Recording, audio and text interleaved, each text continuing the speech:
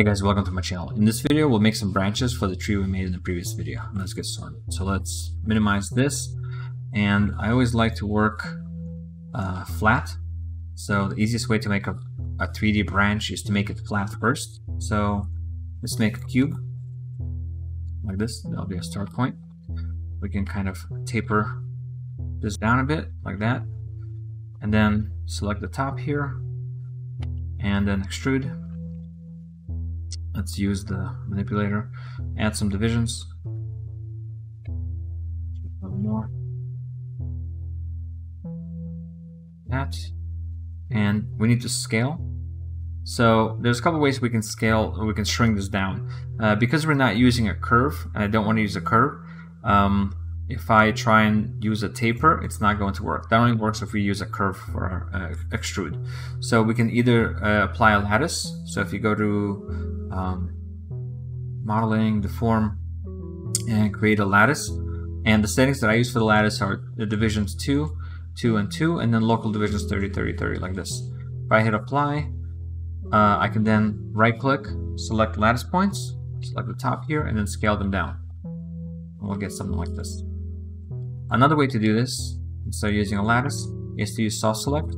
So if I select these vertices here, press soft select, I can hold B in the middle drag until I reach the bottom like this. Now if I double click the move tool, I can go into the soft select settings and change this, make sure this is on surface and set my uh, fall off uh, curve to this flat one here. I can then hold control and scale the y direction, which will scale both the z and x instead of y, like that. Now give me the same thing. So it's basically like using this scale here, but from a view where you can't see this green plane, right? So it's the same. So if I hold uh, left click uh, this, see I'm scaling z and x, or if I hold control and click the z, uh, the y direction, um, scaling X and Z.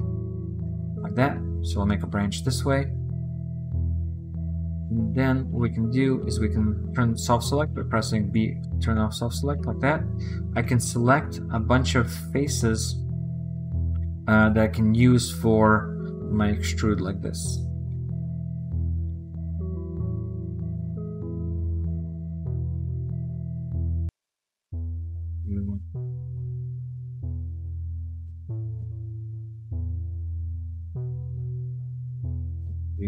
More here, like this. And then I'm going to extrude them, pull them out a little bit like this. Then from here, I'm going to make them square. And you can also just kind of pull some of these in a little bit. So we get that. Basically, that's like the knot. All right.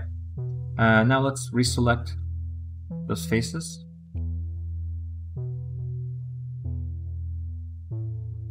Like that.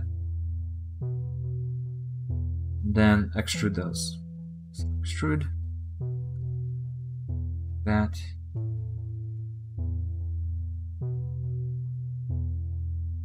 Give them some divisions. And now we just need to do the same thing we did before. I'm to use soft select, get up to, close to the uh, direction, uh, close to the edge of the branch.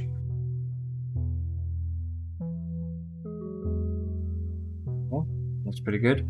And then turn soft select off. I just want to make these a little more like square, but just bringing these down a little bit. So it's basically what we're trying to do is not to have very long uh, faces here. And it doesn't have to be perfect. Actually, the less perfect, the better. If you want a little extra detail, we can just add a loop in between here, where we have a lot of space. All right, that's good. All right, so if we press 3, you can see this is what it looks like. Pretty good. We don't need this face down here. I'll delete it. All right, so that's our branch. So now we're going to go into rigging, go to uh, joint creation. And then if I press 4, I'm going to hide the grid so I can it's easier to see. And just click here. And then just make a bunch of uh, joints. And I'm, I'm making a lot. It doesn't matter how many you make, but the more, the better. And you can see what I'm doing is I'm making sure that everywhere there's a branch that's joining the main uh, trunk, I have a joint. That. Okay, we can then press Y, which will reselect the joint tool, and then we can go this way. Y, so click here, now we can go out.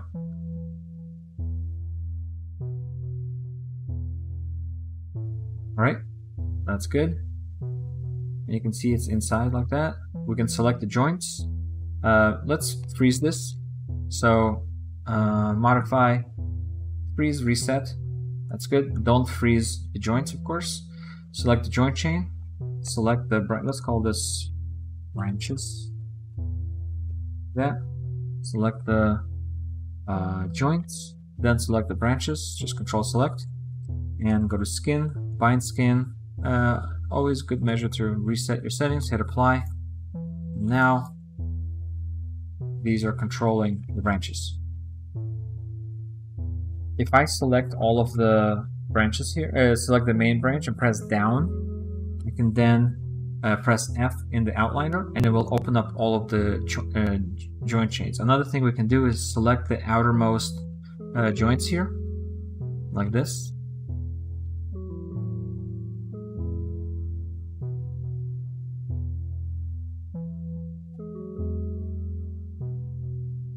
And press F.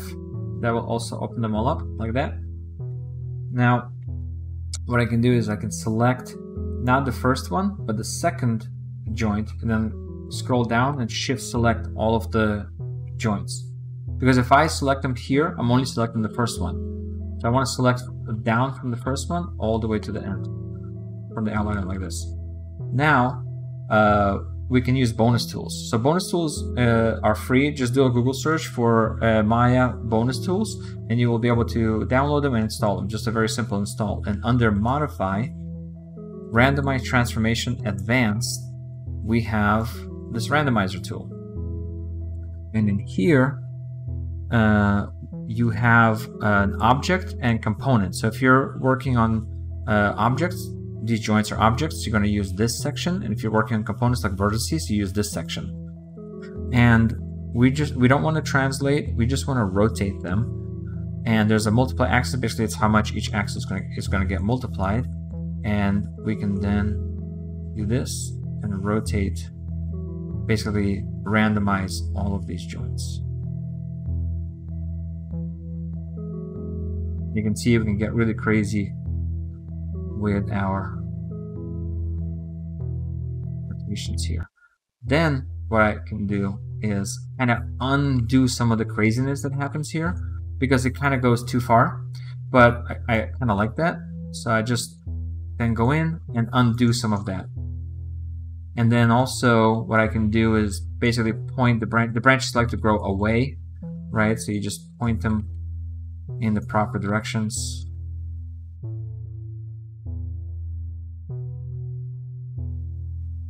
Have our tree branches going.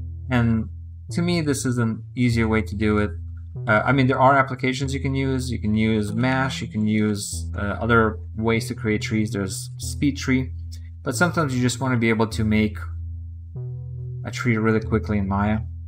And I always find that this way it's pretty easy to do. And you can really uh, kind of art direct how the tree is going to look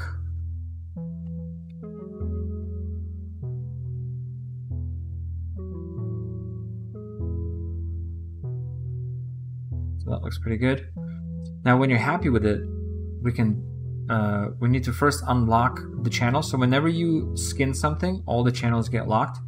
We don't need that anymore. Mm. So you just go in here when you select the geo and right click, unlock selected.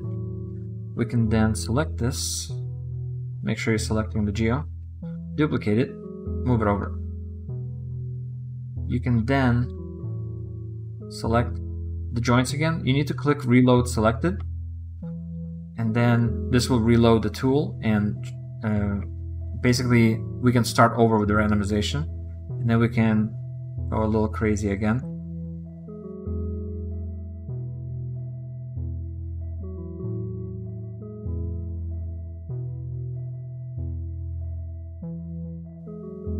Then once we're done, all we need to do is we hide this, hide this one, and then we unhide our tree.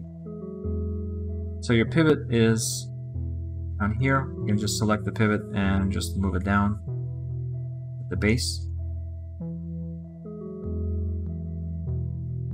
Our scale is a little big, so we'll just scale these down. And then you can start placing them on the tree. So I'm holding V. I'm in the move tool, holding V, and I'm just doing this.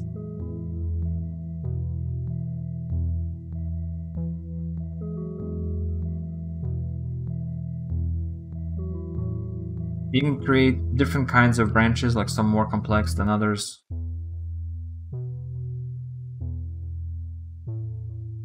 Now, some of the branches are going to be larger and some are uh, bigger, and you can connect them to the tree this way. So, like right now, you can see that this branch, uh, we have four edges here on the end, and we have eight here because if we try and connect it here, it's not going to connect that well. So what I'm going to do is I'm going to just take this, scale it over, and then move it a little bit. And then if I subdivide it, poly smooth, like this, this gives me eight subdivisions. Let's put our, just Lambert 1 on this. Now if I delete these four faces here, I can select this branch like this,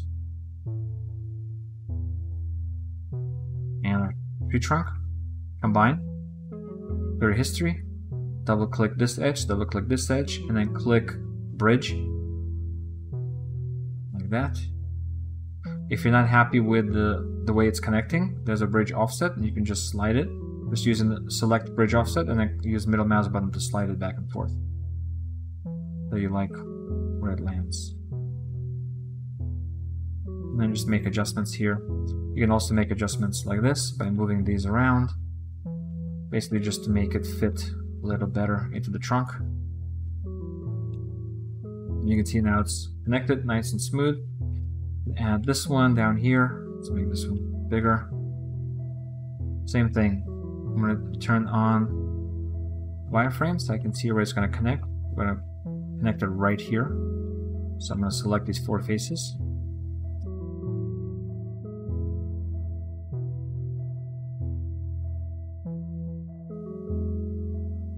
This one, when you have a small section you're connecting to, you don't have to subdivide the branch because it is uh, the section that it connects to is could just be a face.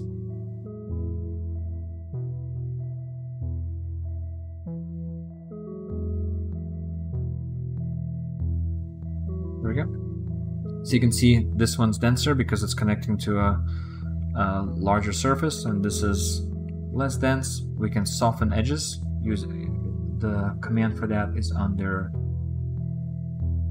uh, mesh display, soften edge. And there's our crazy little tree. You can still adjust it by going in, selecting a bunch of vertices. Uh, you can use soft select by just scaling it a little bit. Then with the Rotate tool selected, hold D and V and snap it somewhere close to where the soft select ends. Then we can do that.